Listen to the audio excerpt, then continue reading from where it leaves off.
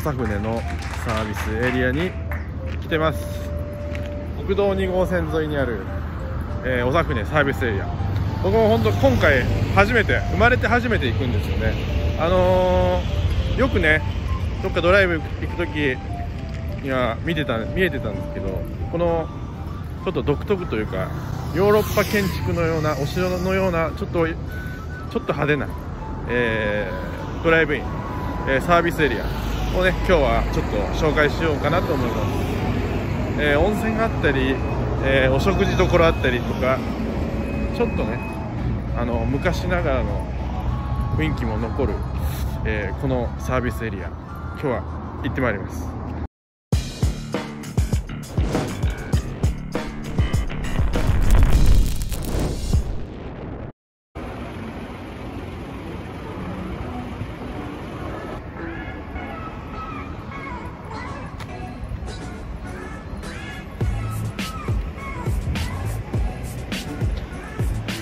こっちから行きたいんですけど今日はこの横しちょっと気になるとこが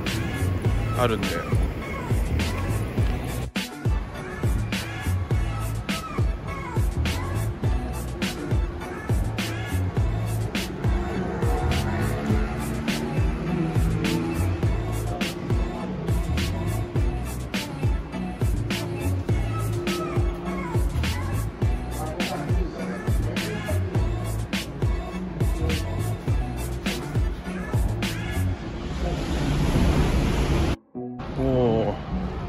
初めて見る。下津井警備鉄道の記者えー、えー、本土と四国のすごいな。あ60年代までやってるでもあれだよね戦時中とかも普通に走ってたレアなやつだね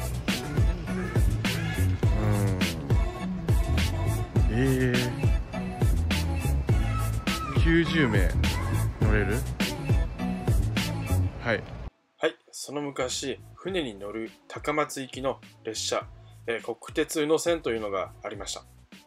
えー、この列車は、えー、下津井警備鉄道とつながっていて、え小島からのね、え乗客を、え警備鉄道は運んでましたが、えー、一足の開通により、えー、次第に客足が遠のきました。はい、これがね、実際の、えー、様子ですね。えー、昔はね、本当にあの列車をこういう感じで運んでたそうです。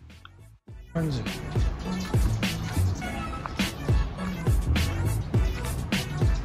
あこういうエリアがあるとは僕は初めてですね裏側なんでえー、こういう感じですいろいろ列車をね見てきたんですけど鉄道博物館とか行ったりはしたんですけどなんかやっぱりちっちゃいなとこうやっぱ昔の電車なんで今と違って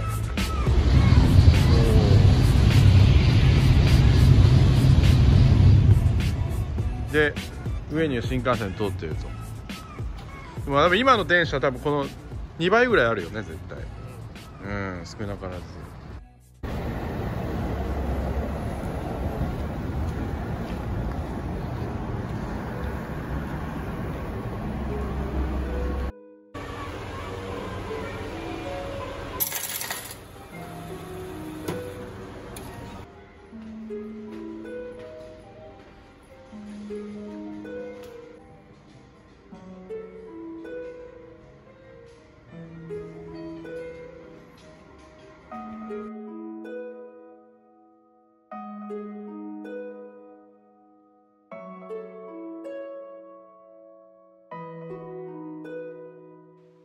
こちらのお湯はですね、天然温泉ということで、ナトリウム、カルシウム、塩化物泉という、えー、食塩を含み、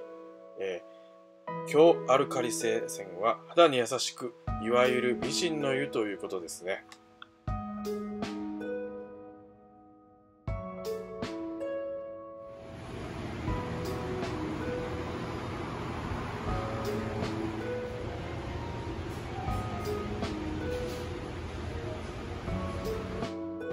ありがとう。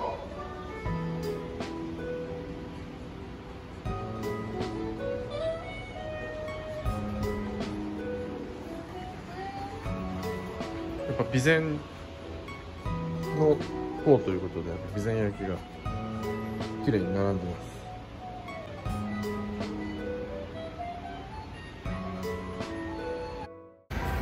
はいお疲れ様でした今日は、えー、こんな感じでね届けさせてもらいました、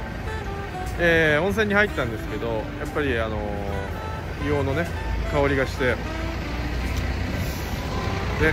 結構年季を感じるなというような、えー、雰囲気の、えー、お風呂でし